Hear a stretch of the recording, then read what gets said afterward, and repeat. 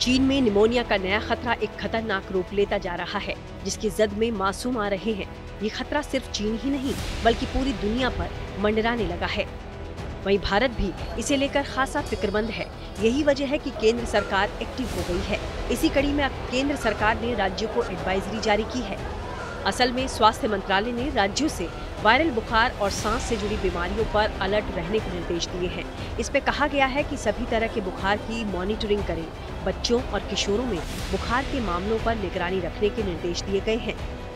स्वास्थ्य मंत्रालय के अनुसार घबराने वाली कोई बात नहीं है, लेकिन सचेत रहना ज़रूरी है। केंद्र ने राज्यों से अस्पतालों की तैयारियों की समीक्षा करने को कहा है। बेड्स, मास्क, ऑक्सीजन, एंटीबायोटिक दवाएँ, वेंटिलेटर्स जैसी चीज़ों को चेक करने को कहा गया है। इसके अलावा किसी बड़ी बीमारी के फैलने को लेकर अस्पतालों में तैयारी करने के लिए भी कहा गया है। सीवियर एक्यूट रेस्पिरेटरी इलनेस, यानी एस के मामलों को राज्य में मौजूद वायरस रिसर्च लैब से शेयर करने को कहा गया है। उनके सैंपल सरकारी वायरल लैब को देने के निर्देश दिए गए, जिससे किसी नए वायरस की जाँच और पहचान हो पाए। मेडिकल एक्सपर्ट भी मानते हैं कि अभी ये बहुत शुरुआती दौर है, लिहाजा इससे घबराने की ज़रूरत नहीं है। एक इन्फ्लुएंजा का इन्फ्लुएंजा ए का एक सब टाइप है, जो नॉर्मली बर्ड्स में देखा जाता है, उसको एवियन फ्लू बोलते हैं, और इसका अगर साइंटिफिक नेम देखें तो एच नाइन एन टू है।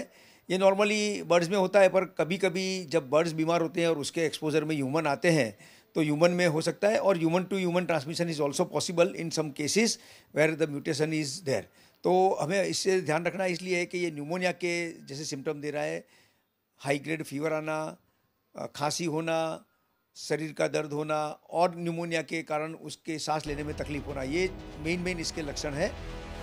डब्ल्यू ने भी चीन से इस बीमारी से जुड़ी जानकारियाँ मांगी हैं।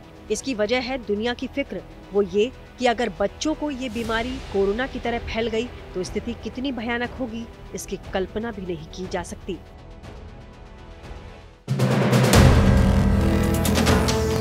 वीडियो पसंद आया तो हमें लाइक कमेंट शेयर और सब्सक्राइब ज़रूर करें।